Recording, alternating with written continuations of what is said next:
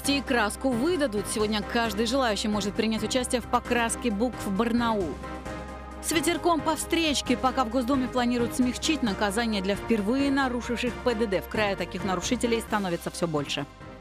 Сергей Шубенков вступает в борьбу за золото чемпионата Европы. Его тренер уверен, что барьерист сейчас в оптимальной физической форме.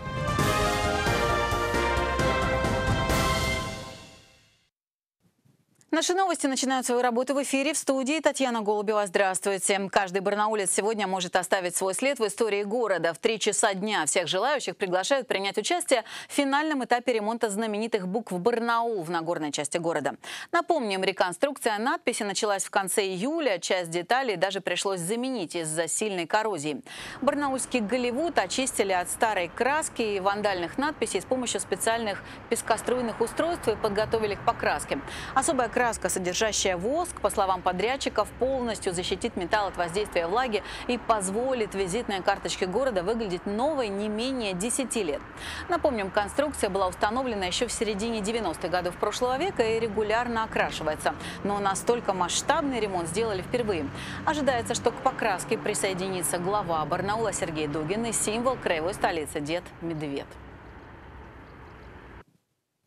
Центр избирком одобрил вопрос от Алтайского края для пенсионного референдума. Тем временем жители Бийска бьют тревогу на кладбищах Наукограда. Через пару лет свободная земля закончится, а новой нет. Об этих и других новостях в обзоре изданий Сибирской медиагруппы.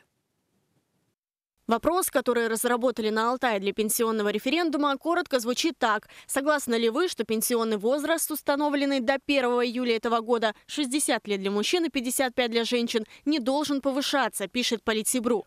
Кстати, алтайские коммунисты первыми в стране заговорили о необходимости всенародного опроса. ЦИК одобрил три версии вопросов от нашего края, Москвы и Подмосковья. Какая из них будет на референдуме, пока неизвестно.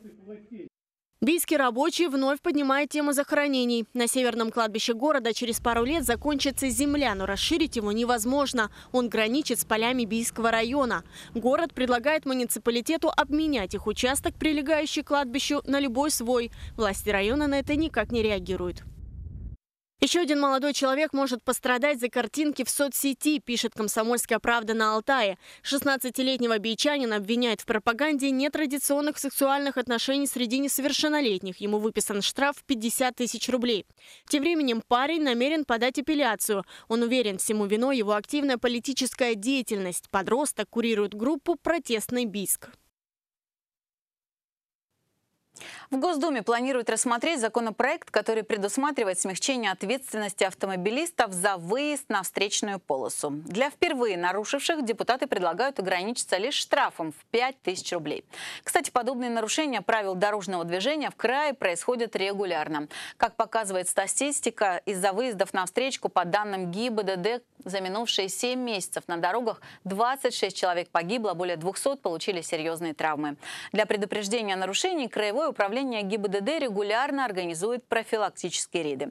В этот раз в Первомайском районе. Участок федеральной трассы Р-256 оборудован дорожным знаком, запрещающим обгон, однако не все водители соблюдают правила.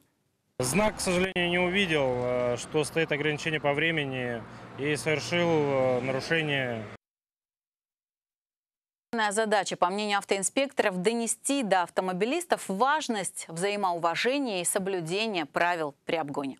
Это грубейшее нарушение, обгон связанный с выездом на полосу встречного движения, ответственность которой предусмотрена либо лишение права управления от 4 до 6 месяцев, либо штраф в размере 5000 рублей. Но еще раз хотел бы повторить, что данное мероприятие, оно прежде всего направлено именно на, дисциплини... на дисциплину участников дорожного движения, на профилактику ДТП.